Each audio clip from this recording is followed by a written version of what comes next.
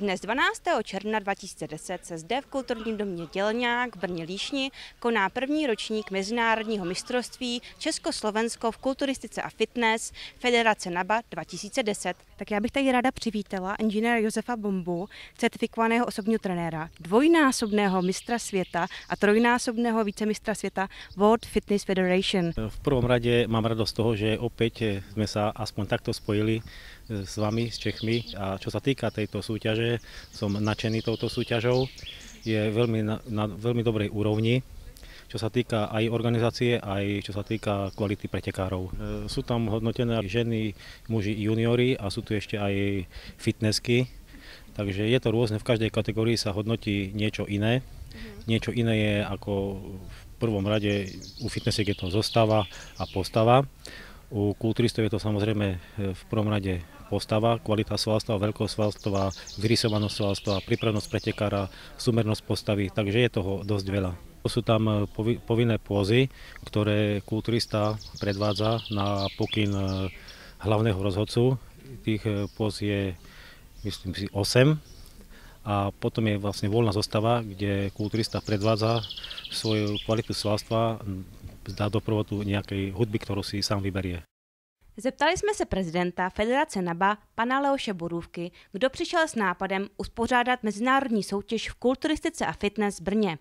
Pane prezidente, to byl váš impuls zorganizovat tuhle soutěž?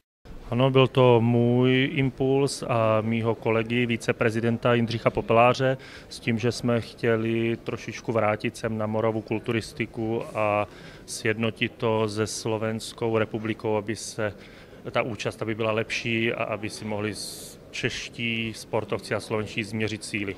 Konkrétně z jakých států přijeli zahraniční soutěžící? Tak máme tady závodníky ještě z Maďarska, z Rakouska, z Chorvatska a Ukrajiny. Celý tenhle sport se vlastně skládá z tvrdého tréninku, z dodržování životosprávy, z kvalitního jídla a z kvalitního odpočinku. A co podpora rodiny?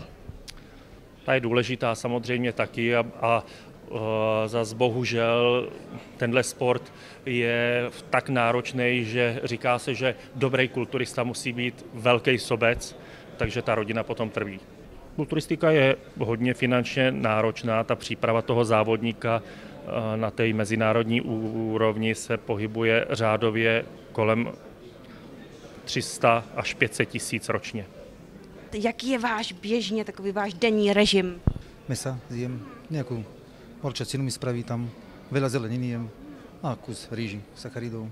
Kilo mesa denne zjem a ja takedy vážim, teraz vážim 69 kg, v objemoch pred dvoma mesiacmi mám 102 kg. Jak se často koukáte do zrcadla? Skoro každý deň. Den? Co manželka? Je to tak, ano. Den? Jak to snášíte jako takový koníček tady vašeho manžela? Tak snažím sa mu pomôcť, keď viem, že má rád šport, tak ho v tom podporujem. Jak často trénujete?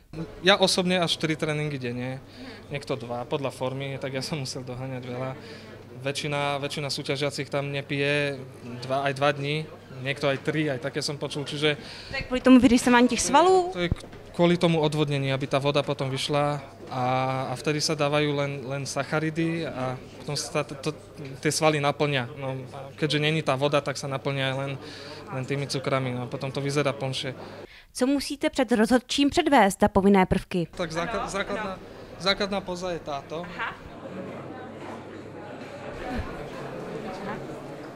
Takže to je ta první. Jasně.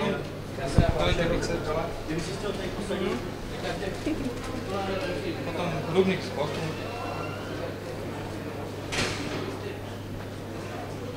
Triceps. Čím jste tak jako namazaný, že jste takový hnědý? To je, to je ocelárka nebo co to také speciální farba? Tak môžem, skúsime na A to, vás. to je jako já nemám takový svaly, takže na mě by to moc nevyniklo. Á, nikdy Ne, neviem. to vyrysování jako těch svalů. jo. No áno, to je farba zvýrazní prostě tie detaily na pódiu, hlavne po tom svete. Jak se cítíte? No úplně nemůžu ani mluvit, prostě je to krásný strašně. A na co se nejvíc těšíte, teď, když přijete domů? Asi až se napiju nějakého studeného džusu a nějaký hranolky si dám. Úžasný pocit to je, ale unaveně a konečně odpočívat na chviličku. Jak byla drastická dieta? Byla hodně drastická. Hodně drastická, to znamená co? Čtyři měsíce kuře, rýže, všechno na vodě.